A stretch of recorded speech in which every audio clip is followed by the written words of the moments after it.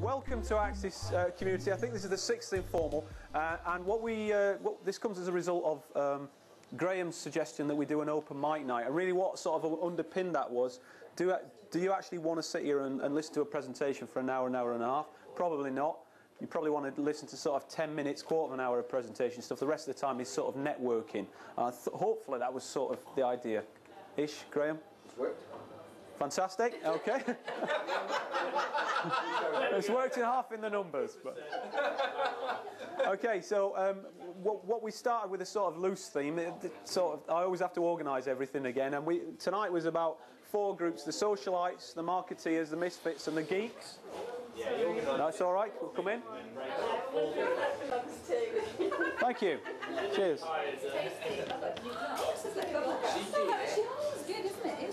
Is that alcoholic? Excellent. A few more of those. Okay, so what, we, what we're going to try and do is, is see what ideas you guys came up with. Yeah, and, and, and explore a new format for this sort of open mic thing. And one of the ideas that we had that Paul is about to get involved with in a minute is, is this is harnessing the power of the people in the room. And we thought, how about you just have one slide that, that uh, is your sort of five minute little talk, two minute little talk. And uh, I'm important, so I've got three. Okay, but only backups in case we sort of run out of material. And this is my first, really quickly. And um, I also have my beautiful wife here. Recent bride. Yeah, sorry, that one there. So this is Nikki, if you've not met her. And um, Nikki, I can explain everything. You don't need to. This is actually. It's all right.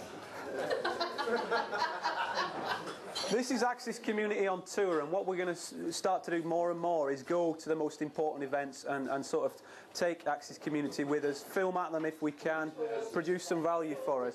We've been to, we've been, Is that the Men and Motors exhibition then? uh, yeah. The world, of course.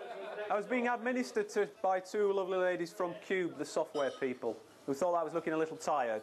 What, what's missing from that is there was actually a CCTV around. Yeah, yeah, I felt a lot better. Work for the company. Why would it look like that? This is what happens at the NEC and places like that. Anyway, the two events that we've been to recently were we went to Internet World uh, and we took some people down there. I think one of you guys there with us?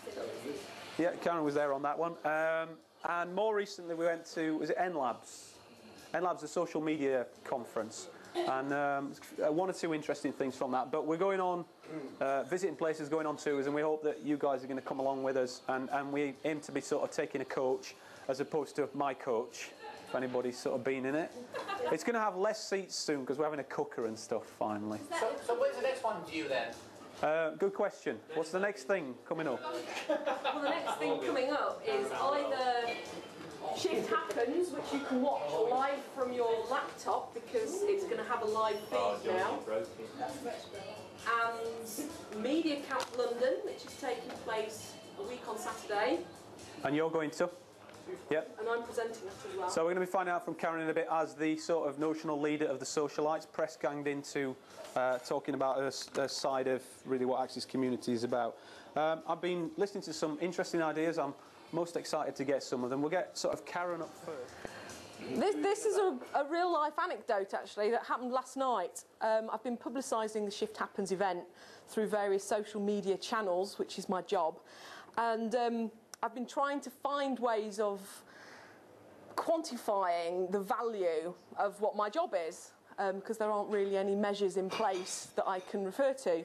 Anyway, within one hour last night, I sent a notice about a Facebook group that we'd created for the event to 11 groups that I've been part of over the last six months, sort of reading blogs and posting notices. And within those 11 groups, there was the Creative Coffee Club, um, the TEDS Network, mobile video streaming, Web2 entrepreneurs, Saving Theatre in the UK, the Stage newspaper, New Media Consortium, Friends of the Stage Management Association, because it is a theatre event after all, um, Girl Geeks Nottingham, Go geeks. Dating. The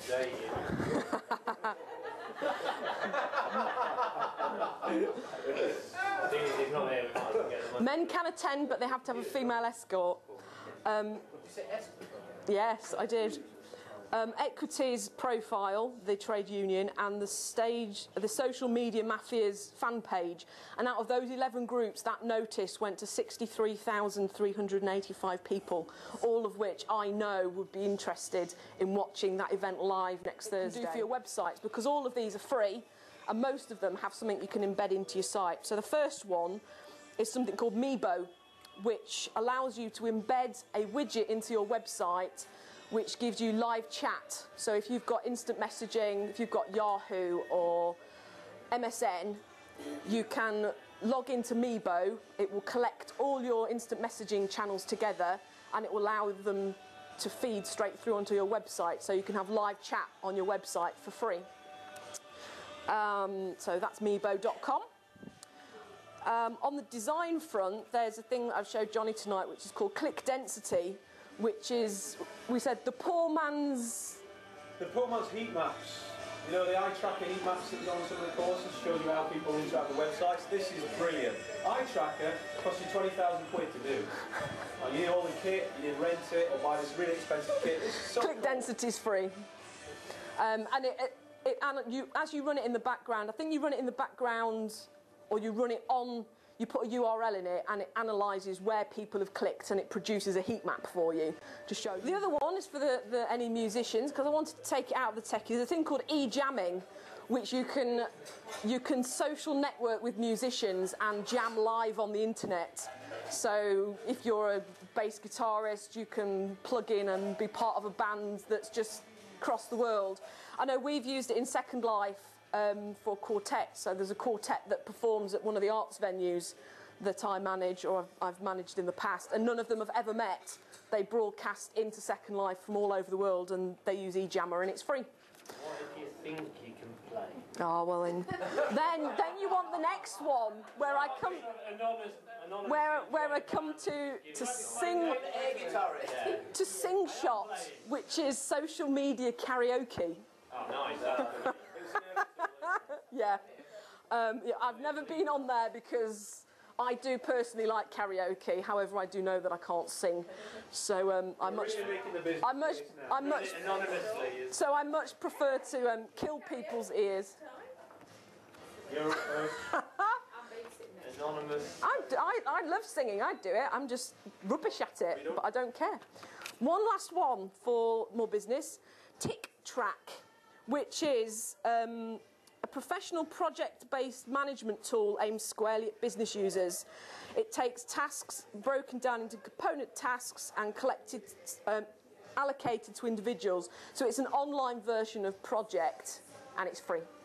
Um, so there's all, and those are just four social media Web 2 applications that are free. Um, Fantastic. Anybody over there who was over there earlier on want to add anything to that? Slumped down with the heat.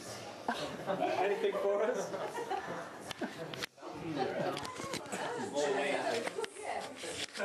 Okay, top line that one for you then.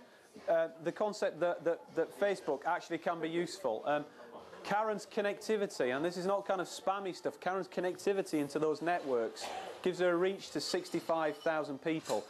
And in they're entirely contextual, they're grouped in, in areas of interest. That's the power of that. That's incredible.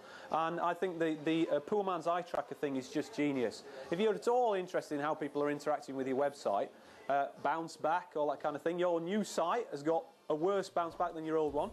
Okay, well, there's a reason for that. How about you run this free tool and it'll tell you where they're going, where they're not going?